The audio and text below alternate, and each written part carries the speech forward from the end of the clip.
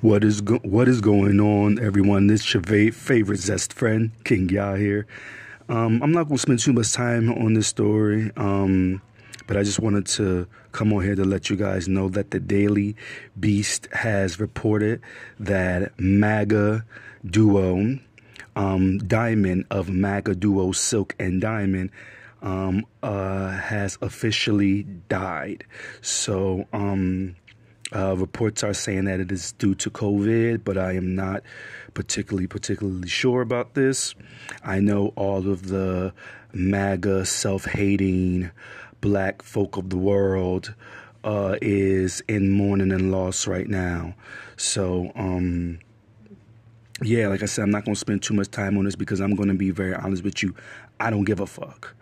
Um, they made this woman to look like a complete and utter clown. Every every single uh, negative stereotype of what they think black women are or how they think black women act. They put these two women out here to look like complete and utter fools.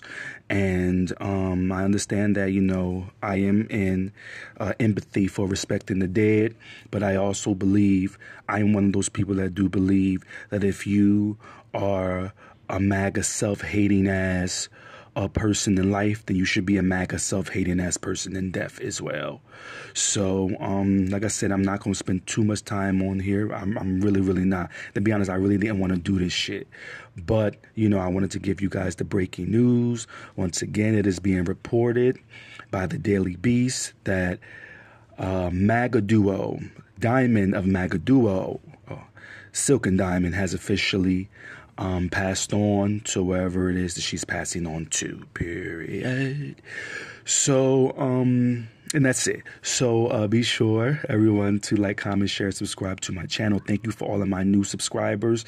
I am reaching on 150 subs, subs so thank you so much, so much, so much. I have a lot more content coming, and the introduction to Swizzle is coming very soon. Have a good Tuesday, everyone, and stay blessed up. Peace out.